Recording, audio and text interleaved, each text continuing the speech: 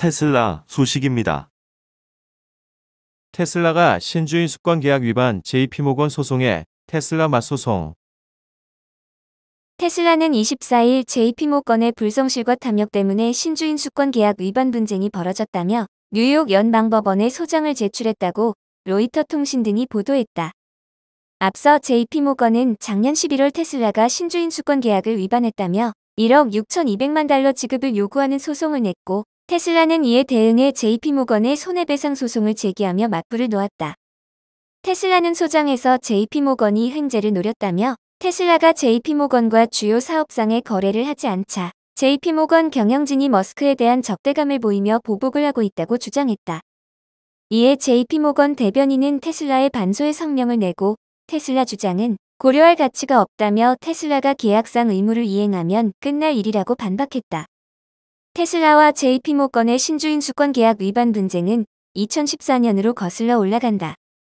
당시 제이모건은 테슬라 신주인 수권을 사들이는 계약을 체결했고 작년 6월과 7월 기한 만료 시점의 권리 행사 가격보다 주가가 높으면 테슬라가 주식이나 현금을 지급하도록 하는 내용을 담았다. 이후 2018년 테슬라 상장 폐지를 검토하겠다는 머스크의 돌발 트윗 파문으로 테슬라 주가가 요동치자 JP모건은 신주인 수권 행사 가격을 더욱 낮췄고 조정된 가격에 따라 테슬라가 1억 6,200만 달러를 내야 한다고 요구했다. 반면 테슬라는 JP모건에 보낸 서한에서 신주인 수권 행사 가격 조정이 불합리하게 진행됐다며 테슬라 주가의 변동성을 이용하려는 JP모건의 기회주의적 시도라고 비난했다. 애플 소식입니다.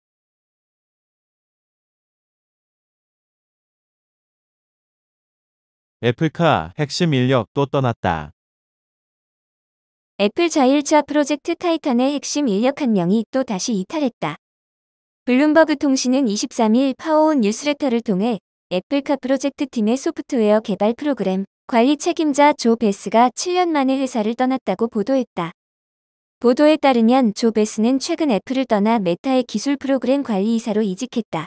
특히 그가 애플을 떠나면서 1년 전부터 유지됐던 애플카 관리팀이 사라졌다고 블룸버그가 전했다. 애플카 프로젝트에서 근무하던 데이브 스캇, 제이미 웨이도, 벤자민 라이언은 2021년 초에 애플을 떠났고 작년 9월에는 애플카 프로젝트를 총괄하던 더그 필드 부사장이 포드로 이직했다. 이후 자율차 개발을 이끌었던 마이클 슈베쿠치 이사도 아처 에비에이션으로 이직했다. 블룸버그 마크 거먼은 올해가 애플카 프로젝트의 성공의 해라고 믿고 있다. 작년 11월 블룸버그 통신은 애플이 빠르면 오는 2025년 자율주행 전기차를 출시할 계획이라고 보도한 바 있다.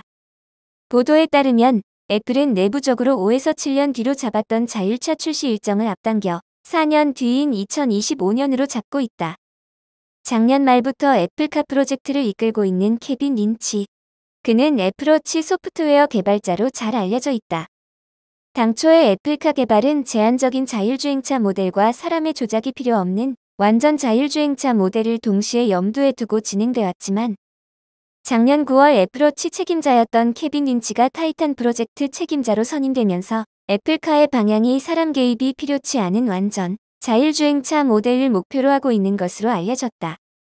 하지만 작년 말 이후 애플 자율차 프로젝트에서 점점 더 많은 인력들이 이탈하고 있다고 외신들은 지적했다. 향후 애플카 프로젝트에 어떤 움직임이 있는지 지켜봐야 할 것이라고 외신들은 덧붙였다. 마이크로 소프트 소식입니다. 기술주 급락세 속 실적에 시선 집중. 올해 들어 미국 나스닥 지수가 급락한 가운데 이번 주 실적을 발표하는 애플과 마이크로소프트, 테슬라가 어떤 결과를 내놓을지 주목된다고 미 월스트리트 저널이 보도했다. 금융정보 제공업체 팩트세트에 따르면 이번 주에 미 증시의 스탠더드 앤드 푸어스 500 지수 소속 기업의 5분의 1가량이 다우존스 30 산업평균 지수 소속 기업의 약 절반가량이 각각 분기 실적을 발표할 예정이다. 이 중 애플, MS, 테슬라 등 이른바 빅테크들이 주역을 맡을 것으로 WSJ는 예상했다. 이들은 신종 코로나 바이러스 감염증 사태에 따른 사회적 거리두기로부터 수혜를 본 종목들이다. 빅테크는 지난 2년간 코로나19발 수요 증가에 주가가 고공행진을 했으나 최근 들어 미 연방준비제도의 기준금리 인상 전망에 약세를 면치 못하고 있다. 올해 들어서만 MS가 12%, 애플은 8% 각각 내렸고 기술주 중심의 나스닥은 12%가량 하락했다. 투자은행 비모캐피털의 브라이언 벨스키 최고 투자 전략가는 투자자들이 기초 여건이 강한 기술 분야 기업들의 성공 스토리를 분석하고자 할 것이라고 말했다. 팩트세트 설문에 따르면 애널리스트들은 이들 3사의 분기 실적이 좋을 것으로 기대하고 있다. 25일 발표되는 MS 회계연도 2분기 실적 전망치는 매출액 500억 달러 이상 순이익 174억 1천만 달러다. 분기 매출액 500억 달러 첫 돌파, 역대 최대 순이익이 예상된다. 투자자들은 또한 MS 사상 가장 큰 인수합병인 게임 회사 액티비전, 블리자드 인수에 대해 합당한 설명을 듣고 싶어 할 것이라고 WSJ는 전했다. 애플이 27일 내놓을 실적도 역시 역대 최대 성적이 전망된다. 분기 매출액은 1,187억 달러, 당기순이익은 311억 6천만 달러로 추산됐다. 테슬라는 26일에 분기 매출액 170억 달러, 순이익 23억 3천만 달러를 발표할 것으로 관측됐다. 애널리스트들은 특히 테슬라가 공급망 문제에 어떤 입장을 내놓을지 주목하고 있다고 WSJ는 전했다. 테슬라가 그동안 다른 완성차 업체보다 자동차용 반도체 수요 부족 문제를 잘 헤쳐왔기 때문이다. 또 이번 주 맥도날드, 버라이즌, ANT, 3M, 제너럴 일렉트릭, 캐터필러, 존슨 앤드 존슨, 보잉, 마스터카드와 비자 등도 실적을 발표한다고 소개했다. 아마존 소식입니다. 연간 로비 활동비 최다. 메타와 아마존이 2021년 한 해 사용한 국회 및 정부 로비 활동비가 각각 2천만 달러를 넘어선 것으로 확인됐다. 이는 양사의 연간 로비 활동비 가운데 최고가 해당한다. 2022년 1월 21일지 시간형 미국 연방의회에 제출된 자료에 따르면 아마존이 2021년에 집행한 로비 활동 예산은 약 2,030만 달러, 메타는 2,010만 달러로 확인됐다. 이 금액은 양사가 2020년에 지출한 로비 활동비를 약 7% 웃돌는 수치로 모두 과거 최고액이다. 미 의회는 플랫폼에서 자사 제품을 우대하는 것을 금지해 빅테크 기업에 큰 타격을 입힐 수 있는 미국 혁신과 온라인 선택권법에 대한 논의가 진행되고 있다. 막대한 로비 활동비는 해당 법을 막기 위한 활발한 행보로 풀이할 수 있다. 이 법은 1월 20일 상원 사법위원회를 통과했지만 일부 의원은 최종적으로 업계에 유리한 변경 내용을 지지한다고 표명했다. 정치자금조사단체 오픈시크리츠 조사에 의하면 아마존과 메타는 개별 기업으로는 가장 많은 비용을 로비 활동에 투입하는 상위 이사다. 양사는 로비 활동을 전문적으로 하는 수십 개의 업체와 계약해 바이든 정권 중요 인물이나 의회 지도자와 친한 로비스트를 보내는 것으로 알려졌다. 입법부 대상으로 로비에 거액을 사용하는 빅테크는 양사뿐만이 아니다. 구글 모회사인 알파벳은 2021년 960만 달러에 달하는 로비 활동을 전개했다. 960만 달러는 과거 최고액은 아니지만 2020년 지출액에서 27% 증가한 것이다. 2021년 애플의 로비 활동비는 650만 달러다. 2020년 670만 달러에서 다소 감소했으며 금액 자체도 다른 빅테크와 비교해 상대적으로 낮은 편이다. 보잉 소식입니다. B737 맥스8 국내 항공사 도입 시도. 잇단 추락사고 여파로 운항이 중단됐던 보잉 B737 맥스8 기종에 대한 제재가 풀림에 따라 국내 항공사들이 도입에 시동을 걸고 있다.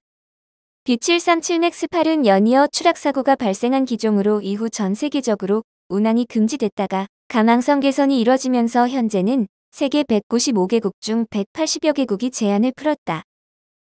우리나라 국토부도 지난해 11월 B737 맥스8에 대한 운항금지 조치를 해제했다. 25일 업계에 따르면 B737 맥스8 기종을 도입할 예정인 국내 항공사는 대한항공, 제주항공, 티웨이 항공이다. 미국 보잉사와 각각 50대, 50대, 2대씩 구매 계약을 맺었다. 이들은 국내외 운항금지 조치와 안전성 우려에 도입을 미뤄왔다. 항공사들이 추락사고 이후 계약을 취소하지 않은 건 보잉사와의 관계와 위약금 등을 고려하면 계약 파기가 사실상 불가능하기 때문이다. 구매 계약을 취소할 경우 5에서 10% 상당의 위약금을 물어야 하는 것은 물론 향후 항공기 계약에서도 불리한 입장에 놓일 수 있다. 대한항공의 관계사 진에어는 대한항공이 구매한 B737 맥스8을 임대하는 방식으로 항공기를 운영할 계획으로 알려졌다. 최근 B737 맥스 항공기 정보 전문 트위터 계정을 통해 진에어 항공기로 도색을 마친 B737 맥스8 사진이 공개됐다. 해당 항공기는 최근 미국 시애틀에서 캘리포니아주 빅터빌까지 시험 비행을 마친 것으로 전해졌다. 다만 대한항공과 진에어는 여론을 의식해 구체적인 도입 시기에 대해선 말을 아끼고 있다. 대한항공과 진에어가 지난해 말 국토부에 제출한 올해 사업계획에 B737 맥스8을 각각 5대 1대 도입한다는 내용이 담겼지만 이에 대해서도 대한항공 측은 확정된 사항이 아니라고 설명했다. 대한항공 관계자는 올해뿐 아니라 지난해 연간 사업계획서에도 B737 맥스8 기종을 도입한다는 내용을 넣었지만 결국 1대도 도입하지 않았다며 올해도 코로나19 상황에 따라 도입 대수 및 시기 등은 변동될 수 있다고 말했다. 진에어 관계자도 B737 맥스 항공기 도입 시기에 대해선 정해진 바 없다고 답했다.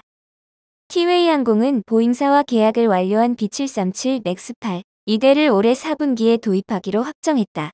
당초 이 기종에 대해 2019년 4대, 2025년까지 10대 이상 도입할 계획이었지만 추락사고 여파로 2대만 도입하기로 방향을 틀었다. 제주항공은 내년부터 B737 맥스 8 기종을 도입하겠다고 밝혔다.